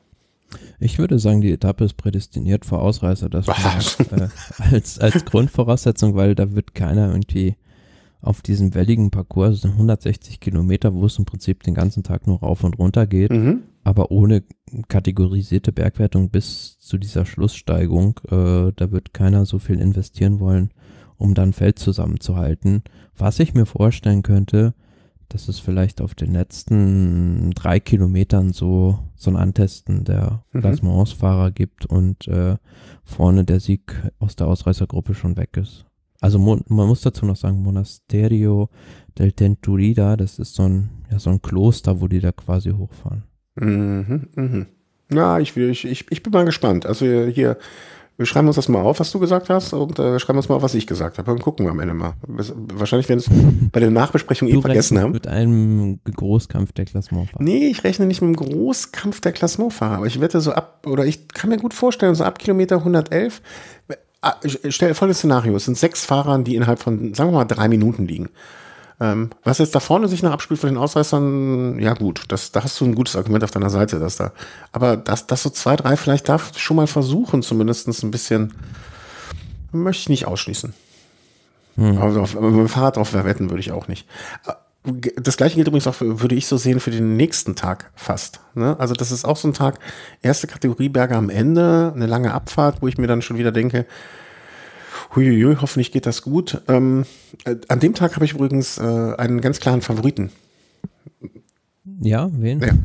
Ich glaube ja, und ähm, es ist seine letzte Rundfahrt und er möchte vielleicht auch nochmal einen Akzent setzen und möchte eine Etappe gewinnen, wenn er es schon beim Giro nicht geschafft hat. Das wäre doch eine Etappe für Nibali. Eine lange Ab also lange Abfahrt, die er gut kann und dann vielleicht nochmal ähm, aus einer Ausreißergruppe, weil er hat sich vorher schon Zeit eingefangen an allen möglichen Stellen, äh, da nochmal rauszuholen. Also sowas wie, so, so ein bisschen wie Froome hier bei Alp d'Huez. Ähm, kann ich mir gut vorstellen, dass der sich vielleicht so eine Etappe raussucht, um nochmal einmal einen Sieg einzufahren. Hm, ja, gut, gute, guter Vorschlag auf jeden Fall. Also ich finde es auch recht interessant, dass also so diese letzten, soll man so sagen, was sind das, rund 80 Kilometer quasi auf einem Rundkurs gefahren wird. Mhm. Also das, man fährt diesen Alto del Pional, diesen Erstkategorieberg zweimal, aber von unterschiedlichen Seiten. Und bei der ersten Überfahrt kommt man schon fast am Ziel vorbei. Und der ist jetzt nicht sonderlich schwer, also vor allem die erste Auffahrt nicht. Also es ist eher so ein Rollerberg und ich kann mir eher vorstellen, ja klar, wie du schon sagst, ein Ausreißer vielleicht vorne, der im Klassement weit zurück ist, aber dann äh, bei den Klassementfahrern wäre so eine Etappe doch wunderbar, um was mit einer Mannschaft zu machen. Mhm. Also diese, diese Berge sind nicht sonderlich steil, wenn man da vielleicht so ein, zwei Fahrer vorne in der Gruppe platziert und dann, ja, wenn man viel riskieren will, am vorletzten Berg vielleicht schon angreift, aufschließt und somit die Konkurrenz unter Druck setzt. Du meinst das Team, äh, Team Bohrer-Taktik? Sozusagen vielleicht, ja. Also. Herr, Herr, Denk, bitte, Herr Denk, haben Sie bitte den äh, Stift rausgeholt. ja, warum nicht? Also kann ich mir auch gut vorstellen. Aber wie auch eben schon äh, bei der Europameisterschaft, bloß weil das eine ich sage, heißt ja nicht, dass das andere nicht auch richtig sein kann. nee, kann, äh, sind beides denkbare Szenarien.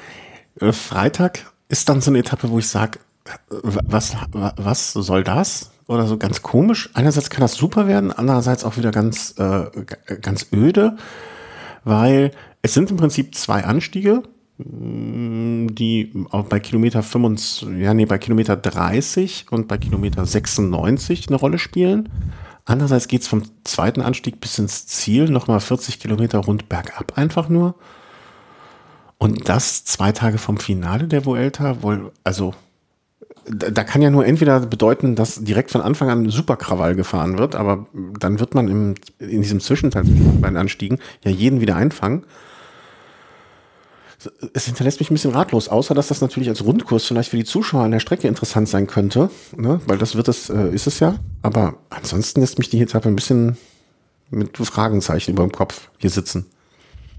Darf ich dich korrigieren? Ja, immer klar. Das ist nur ein Anstieg, also man fährt da zweimal denselben Berg. Ja, ja, das meine ich mit Rundkurs, ne? Also, ja, ja, ja. also, ne, das sind zwei Anstiege, aber es ist der gleiche. Ja, ja, das auf jeden Fall. Das meine ich mit Rundkurs, ne? Und gut für den Zuschauer. Mhm. Entschuldigung, also das hatte ich schon verstanden. ja, also ist so eine Etappe sieht man am Ende so einer Rundfahrt selten. Also ist für mich so neu, dass man so eine Etappe macht, sehr kurz, vom Start weg fast berghoch, aber kein schwerer Berg dann ja. So eine Rollerabfahrt runter ein Flachstück und wieder derselbe Berg und nochmal das gleiche Spielchen. Also, hm, ja, wie gesagt, äh, das gleiche gilt, finde ich, auch schon wie bei der Etappe davor. Wer eine gute Mannschaft hat und einen Gegner hat vor sich, der vielleicht nicht so eine gute Mannschaft hat, den kann man auf so einer Etappe angreifen. Ja, also ähm, äh, na, äh, Jumbo gegen UAA Wär, ne, also wenn Pogacar noch geführt hätte, wäre das ein, wäre das ein so Tag gewesen. Beispiel, ja.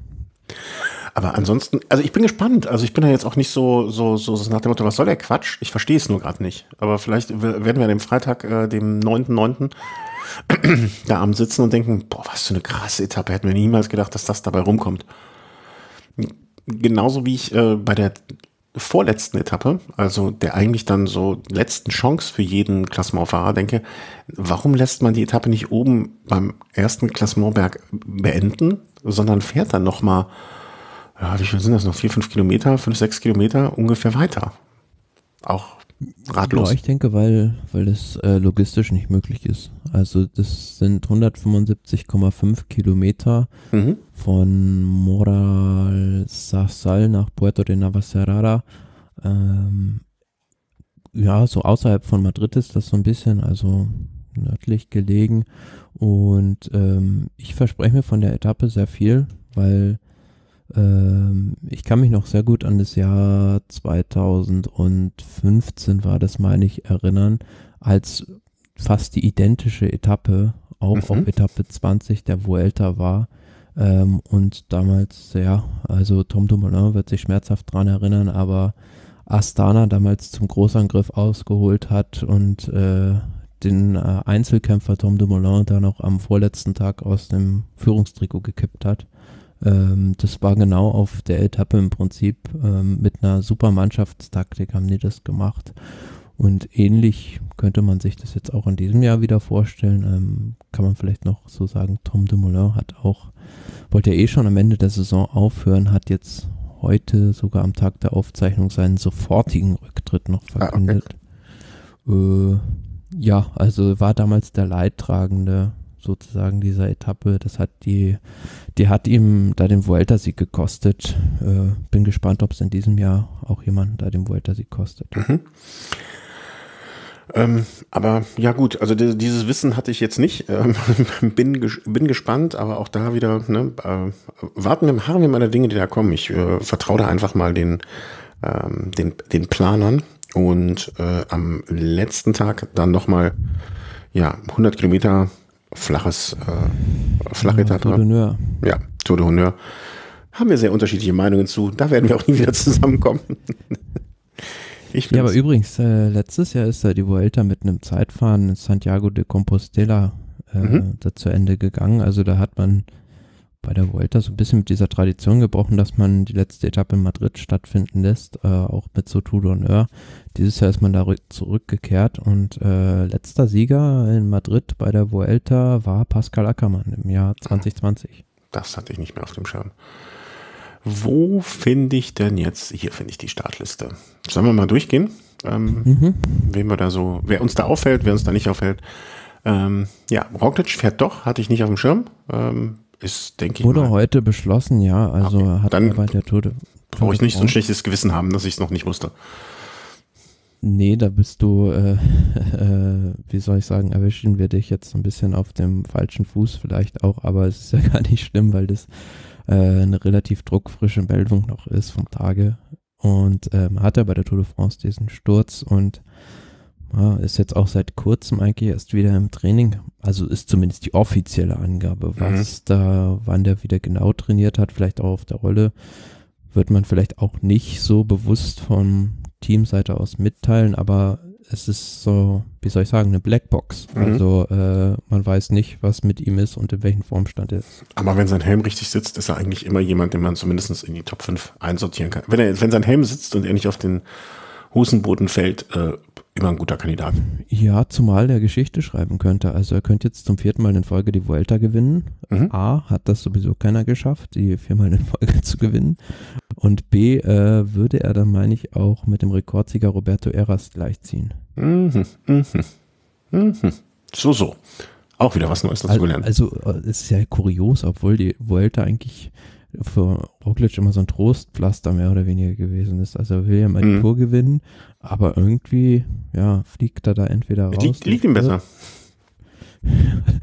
das mag sein, ja. Vielleicht liegt er da weniger. Es liegt ihm besser, weil er weniger liegt. Ähm, und so auf dem Asphalt. Ja, also, wenn du so in die Geschichtsbücher eingehst, es gibt immer noch schlimmere Methoden, in die Geschichtsbücher einzugehen, ne? Also, wer weiß, was noch kommt, aber ähm, insofern finde ich das äh, und wenn ich mir hier so angucke, bei den Buchmachern äh, scheint er auch der große, also nicht, ja doch, der große Favorit einfach zu sein, ne? Das ist absolut so, aber obwohl das natürlich auch ja wenig aussagekräftig ist, jetzt sage ich mal, also wo man, also das ist sowieso schwierig jetzt vorauszusagen, finde ich, einen über den anderen zu heben mhm. von den Favoriten da, weil man hatte wenig irgendwie Ergebnisse, an denen man da Belastbares festmachen kann, finde ich. Also zumal bei Roglic, da verstehe ich das dann jetzt auch nicht. Klar, der Buchmacher geht dann auf Nummer sicher, gibt mhm. ihm eine niedrige Quote, weil klar, wenn er dem da irgendwie eine Zwölfer-Quote oder sowas reinhaut, dann äh, wird natürlich jeder darauf wetten und äh, bei Roglic ist natürlich immer möglich, dass der äh, wirklich in super Form ist und äh, ist auch ein Fahrer, der die Vuelta gewinnen kann. Dann mhm. wird er den lieber am Anfang immer eine niedrige Quote geben. Aber nee, wie gesagt, es ist schwierig, da jetzt einen herauszuheben, aber beim Team Jumbo Wismar fällt mir noch ein, oder ist natürlich für die besonders, dass es jetzt auch äh, in den Niederlanden startet. Also wenn die ja besonders motiviert nochmal sein, äh, mhm. vor allem beim Mannschaftszeitfahren auch gleich da sich das rote Trikot zu holen. Ja, und dann natürlich wird ein Niederländer Mike Tönnissen oder Robert Kresing mit Sicherheit Wahrscheinlichkeit beiden, ja. Äh, als erster über die Ziellinie fahren, wenn sie das einigermaßen gebacken kriegen, wobei ich da im Team Jumbo wenig Sorgen habe, dass die das organisiert bekommen. Mhm. Ja, welche Teams? Also ich, ich habe gerade so durchgeguckt, während du so referiert hast. Und ich, ich habe für mich schon meinen, äh, meinen Sieger der Herzen rausgemacht. Mhm. Und, und zwar zwei. Also zwei, zwei Fahrern möchte ich äh, die Daumen drücken. Äh, einer völlig un, also, nee, ja. Ähm, aber das machen wir später noch. Wen haben wir noch so an Favoriten? Ich, ich orientiere mich jetzt ein bisschen an den äh, Buchmachern, weil die haben ja meistens mm, zumindest nicht ganz falsch. Hm, Erwarte eigentlich. Hm? Äh, ja gut, Evenepoel ist so eine Sache bei großen Landesrundfahrten bislang äh, konnte er noch nicht das zeigen, was er bei kleineren Rundfahrten oder Eintagesrennen macht, nämlich die Konkurrenz im Grund und Boden fahren. Ja. Also da wurden ihm doch recht schnell die Grenzen aufgezeigt und ähm, ich halt traue ihm das schon zu, traue ihm das ja schon zu, auf lange Sicht so, so ein Fahrer für drei Wochen zu werden, wenn er noch ein bisschen seine Kräfte besser einteilen kann, aber ich finde, er ist einfach im falschen Team dafür. Das ist eine interessante Frage. Also ich, ich, ich bin völlig bei dir, dass das ein Fahrer ist, der wirklich auch, also der eine Grundtour mal gewinnen kann.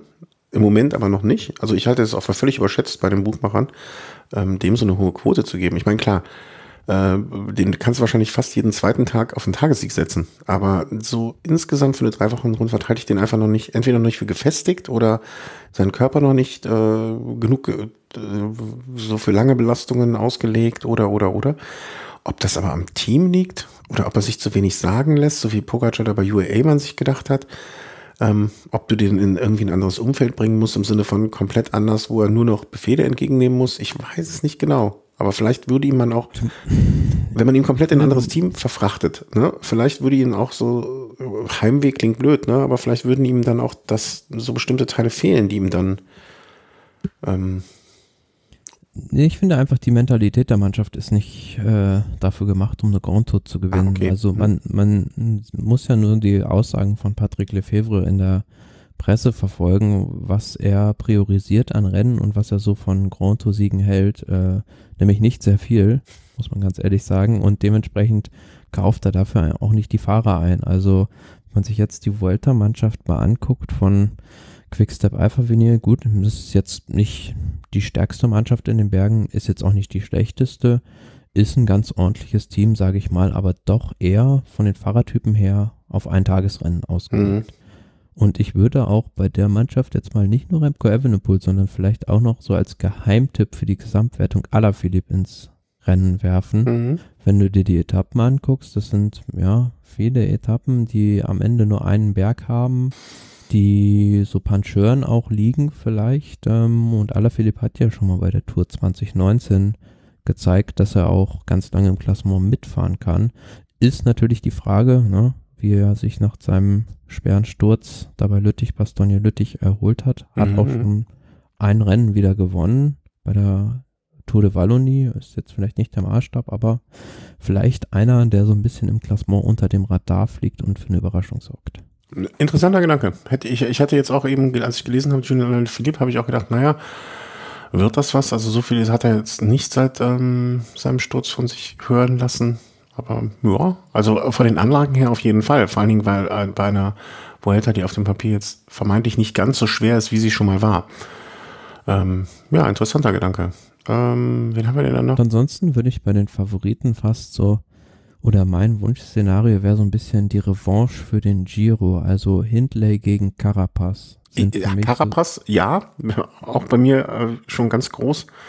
Ähm, ich möchte einfach die komplette äh, südamerikanische Armada aufziehen sehen mit Uran, Quintana und Carapaz. Ja, also die sind, also zumindest Quintana ist ja auch dabei. Mhm.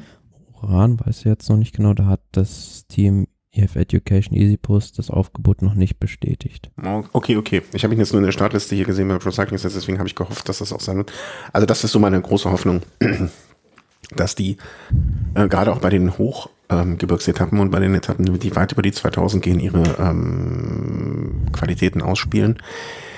Ähm, das, ja, aber wenn du das so anguckst, das Team Ineos Grenadiers auf dem Papier die stärkste Mannschaft für mich. Die haben Carapaz, Luke ja. Plapp, Ben Turner, Ethan Hater, Pavel Sivakov, Theo Georgenhardt, Carlos Rodriguez und Dylan van Baale. Also man darf ja auch nicht vergessen, Theo Gegenhardt hat schon mal den Giro gewonnen und vielleicht schafft er es ja auch mal wieder so in diese Form zu kommen. Mhm. Dann hätten sie noch einen zweiten Kandidaten und Pavel Sivakov hat zuletzt die Burgos-Rundfahrt gewonnen. Ist jetzt auch äh, vielleicht mal an der Zeit, dass der bei den großen Landesrundfahrten den Durchbruch schafft. Und dann haben sie noch Carlos Rodriguez für die Berge. Eigentlich so mit Juan Ayuso zusammen das größte Talent aus Spanien. Hm. Äh, definitiv haben die einfach genug Material für, also wenn die noch vier, fünf Fahrer der ersten, also so vier, fünf gute Fahrer könnten die zwei Mannschaften mit den Leuten aufmachen. Ne? Und, und hätten noch äh, genug Siegfahrer mit dabei. Wurde ja auch viel spekuliert. Ähm, für Egan Bernal hat es jetzt noch nicht gereicht für die Vuelta, aber ich finde es schon sehr erfreulich, dass er jetzt dann äh, Tag der Aufzeichnung ist jetzt am Montag, am Dienstag dann morgen sein Comeback bei der Dänemark-Rundfahrt gibt. Er war doch auch im Gespräch für die Deutschland-Tour, oder? Auch ja, also ob das jetzt dadurch ausgeschlossen ist, weiß ich nicht genau, aber mhm. äh, er sitzt wieder auf dem Rad im Rennen. Könnte natürlich auch sein, ja. Ja. Mm, äh, du sagtest also das Comeback von Carapaz gegen äh, Hindley. Hindley, genau. Was für eine Rolle wird Bora spielen? Buchmann auch Etappenjagd? Vegeta und Hindley? Ja, ich denke, die gehen wieder mit so einer Dreier- oder fast Vierer-Spitze ins Rennen. Also sie haben für die äh, Gesamtwertung potenziell Hindley, Buchmann, Igita und Keldermann. Mhm. Also vier Fahrer. Ähnlich schon wie beim Giro d'Italia, wo das ja schon sehr gut geklappt hat, wo sich das dann nach und nach rausgebildet hat. Und ja, also wenn Jai Hindley wieder diese Form hat, dann sind wir mal ehrlich, also wenn der so fährt wie beim Giro, wird es schwer, den auch zu schlagen überhaupt. Ähm, mhm. Ich sehe nicht viele Fahrer, die äh, bei dessen Stärke, wenn der so gut ist wie beim Giro, den schlagen können. Du Auf der anderen Seite hat das Team natürlich auch mit äh, Sam Bennett und Danny van Poppel zwei schnelle Sprinter dabei, was ich so, mh, hm, ja, so ein bisschen Wermutstropfen, als Wermutstropfen sehe, weil, ah, klar, man muss natürlich Sam Bennett, wenn man ihn jetzt neu verpflichtet hat oder wieder zurückgeholt hat vor der Saison, auch so ein bisschen was bieten, äh, mhm. äh, dass der nicht ganz, äh, ja, den Stinkstiefel dann macht.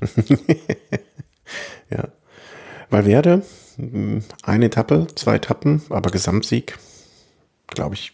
Hm, nein, also ich glaube nicht. nicht also ich glaube, die Strategie vom Team Movistar wird so aussehen. Sie werden versuchen, mit Enric Mas in der Gesamtwertung vorne zu landen. Mhm. Und Valverde wird sich irgendwo Rückstand einfangen und dann versuchen, Etappen zu gewinnen, weil die wollen, deren Ziel ist es, so viele UCI-Punkte wie möglich bei diesem Rennen zu machen, um dann mit diesem Abstieg aus der World Tour nichts mehr zu tun zu haben. Mhm.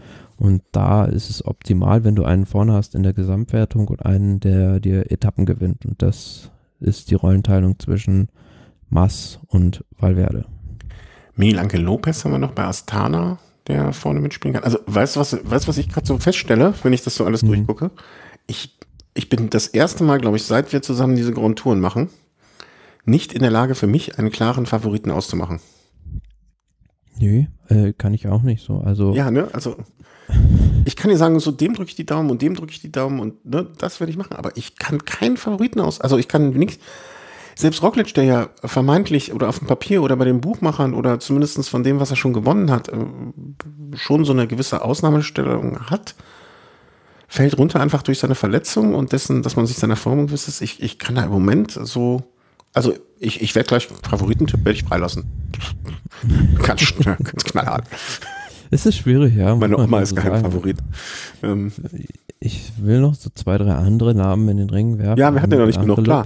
wäre so der nächste, den ich auch gesagt hätte. Der war jetzt auch Burgos Rundfahrt, hat er die Bergankunft gewonnen an den Lagunas de Nela und dann noch Team UAE Emirates. Joao Almeida ist für mich ein heißer Kandidat jetzt mal eine Grand Tour auch zumindest auf dem Podest zu beenden. Mhm. Und dann Grand Tour Debüt bei UAE Team Emirates von Juan Ayuso, wo man ja schon immer so sagt, mit 19 Jahren das Wunderkind des spanischen Radsports, zuletzt auch wieder ein kleineres Rennen in Spanien gewonnen und ähm, ja gut, hat auch bei den Rundfahrten schon große Erfolge, was heißt große Erfolge, große Erfolge für sein Alter, soll man so sagen, gefeiert. Also beispielsweise Tour de Roman, die auch die Nachwuchswertung gewonnen, Vierter in der Gesamtwertung.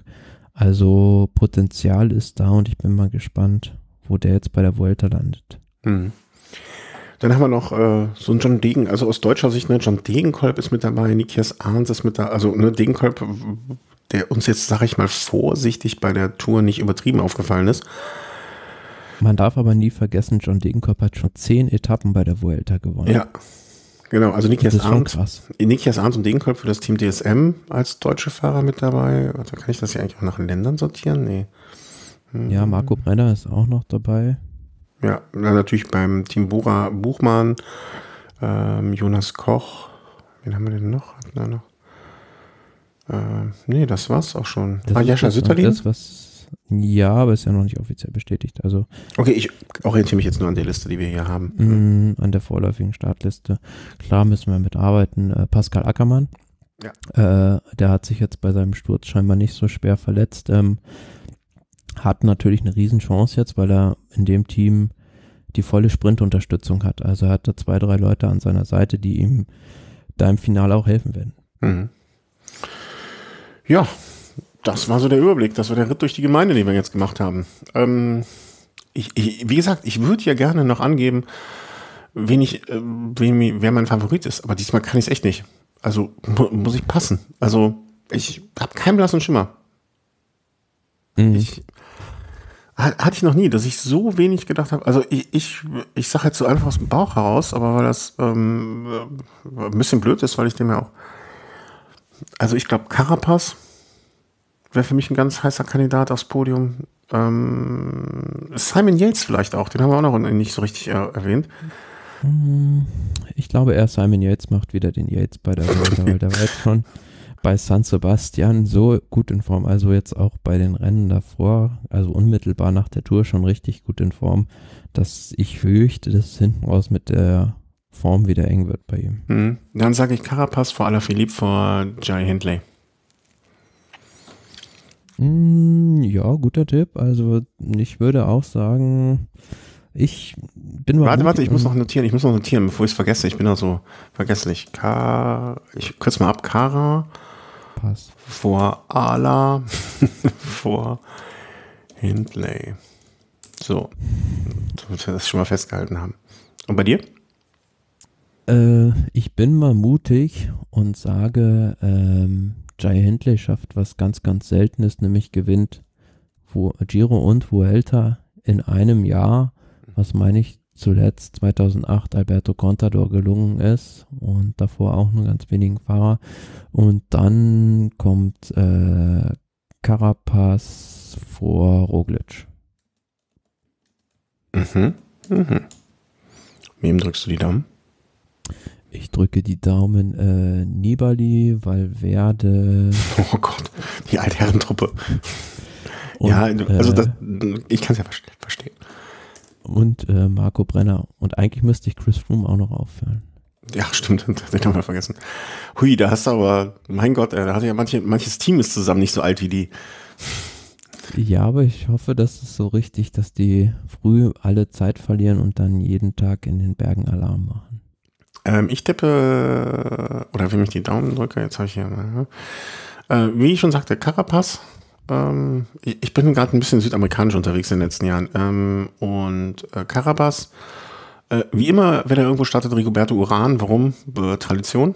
Ähm, und äh, äh, äh, ich glaube, ich mag auch noch Quintana die Daumen drücken, weil ich mir vorstellen kann, dass er das Rennen beleben kann. Na, hat es ja schon mal gewonnen auch. Ja. Ja, was gewinnt, weiß ich nicht, aber ich glaube, der, der kann so. Da sind mehrere Etappen, wo ich mir denke, dass der ähm, selbst wenn er nicht, nicht die gesamte Rundfahrt gewinnt, aber da ein belebendes Element sein kann. Gut, haben wir das alles. Schön. Dann kannst du jetzt anfangen von mir aus. also ich wäre ich wär soweit. Äh, was sind noch die anderen Rennen, die kommen äh, dieser Zeit? Bema Classics. Ja, nicht was? Bremer, sondern Bema Classics. Was ist das denn? Ich weiß natürlich, was es ist. wie sind die auf den Namen gekommen? Ist das irgendeine Firma? Äh, ich denke mal, es ist der neue Hauptsponsor. Der äh, lustig ist ja auch hier bei Pro Cycling Stats heißt es Rennen BEMA Cyclassics, aber auf dem Logo sind Euro Ice Cyclassics. Also oh ja. haben sie scheinbar das Logo noch nicht ausgetauscht oder Kurios, was ist denn BEMA? Also, äh, also die machen ihren Job nicht sonderlich gut, wenn man nicht weiß, was die für, also überhaupt nichts, also sagt mir überhaupt nichts. Nee, zumal es äh, für die Hälfte der Hamburger ein Ärgernis sein wird, wenn sie sich da beim ersten Mal verlesen und Bremer lesen. bist du da eigentlich mal gestartet? Nee, ne? Bei Cycle, nein. Du? Ja, du bist doch Ja, ich bin aber 2006 oder so oder 2007 oder irgendwie sowas. Also unfassbar kaputt gefahren habe ich mich da.